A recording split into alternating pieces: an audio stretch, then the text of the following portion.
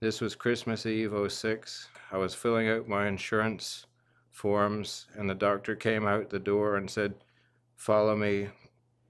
I went into the into the back room and he said, That's it. And I said, What do you mean that's it? He said, Half your brain is cancer. And the next thing I knew, I was here with Dr. Baskin.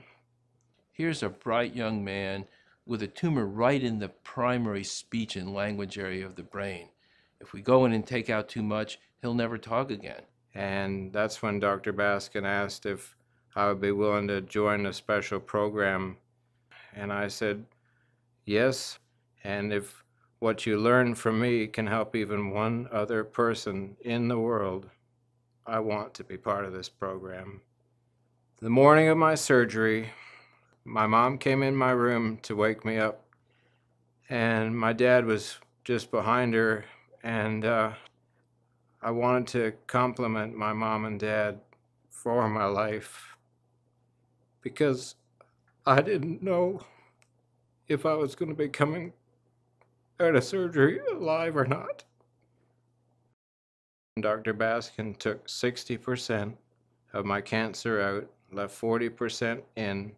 He took part of my brain out so that my cancer had an area to heal. So Matthew had a very specialized form of gene therapy.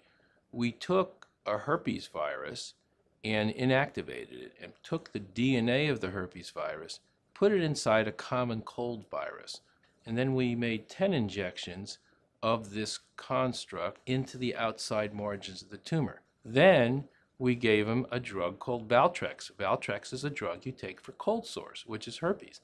So the cold virus drug went and killed the virus and therefore killed the tumor cells. And in his case, it truly was miraculous. He should be dead in three months. Here he is seven years later, alive and well.